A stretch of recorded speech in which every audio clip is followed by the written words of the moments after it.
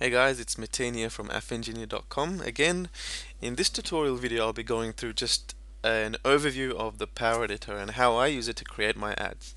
Now, in the past I used to use just your simple ads manager which you can find in the left hand left side column on your Facebook page, on your Facebook profile page.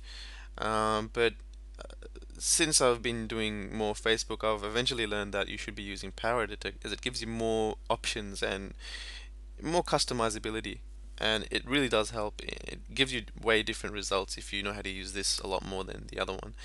But uh, simply what you do is I'm not going to go through what a, how to how this setup is campaigns ad sets and ads.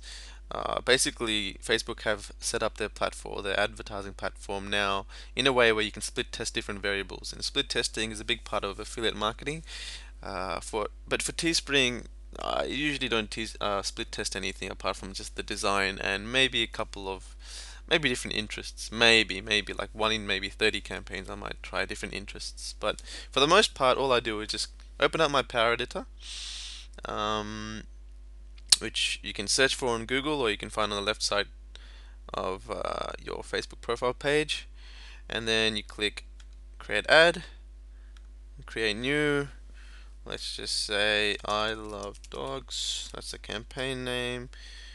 Um, now Facebook allows you to choose an objective. Based on the objective Facebook will advertise your campaign in a way where it'll optimize for you uh, on what you've selected here. So I've played around with website conversions and paste, paste bleh, page post engagement and I've found that this works the best page post engagement.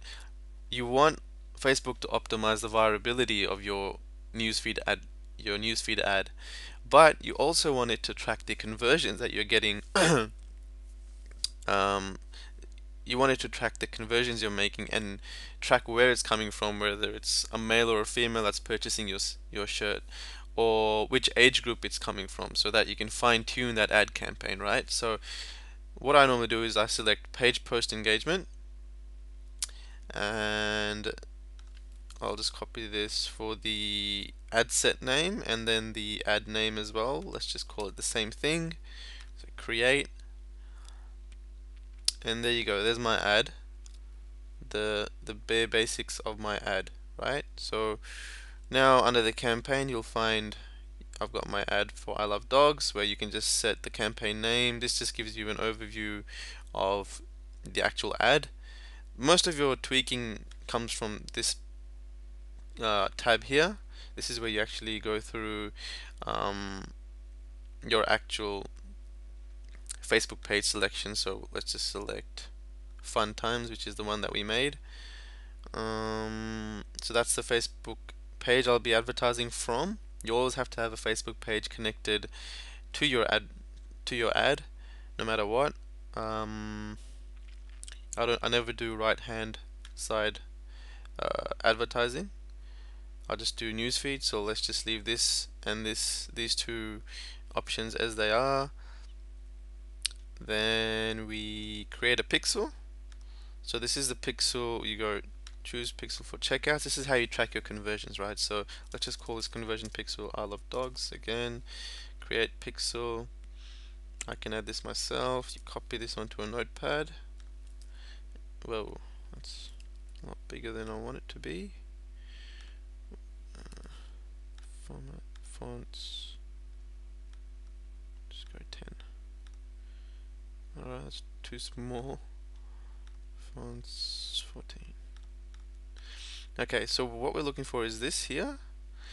And this that number there is your tracking ID number and that's what you paste into your Teespring campaign and Teespring will start or Facebook rather will start to track conversions for you right? So once that's done you just press close. Um, once you paste it there this will change to verif verified. That means that it's tracking properly and then you go to audience. This is where you actually set up your interests.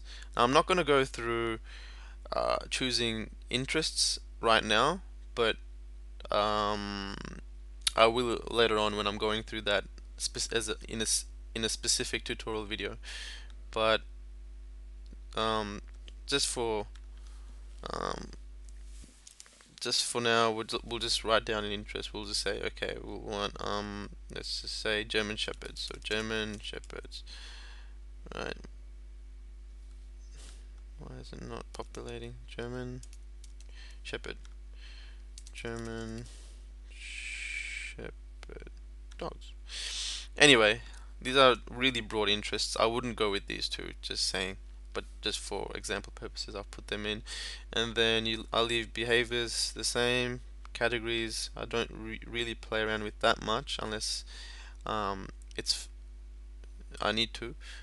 Um, that's that done. Maybe we'll choose men. I usually go over 20 or over 25 depending on how I'm feeling.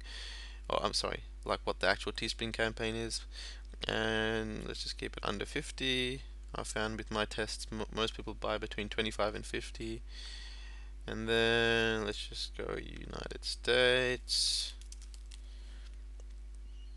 Anyway so what I'm doing here is just showing you guys how I go about making my ads. These are really random options I'm putting into these uh, text bars. Um, obviously it changes from place to place. And then choosing the way I price my campaigns I just click this button here optimize CPM done leave this as it is so use default bids. Um, and for ad sets leave this the same.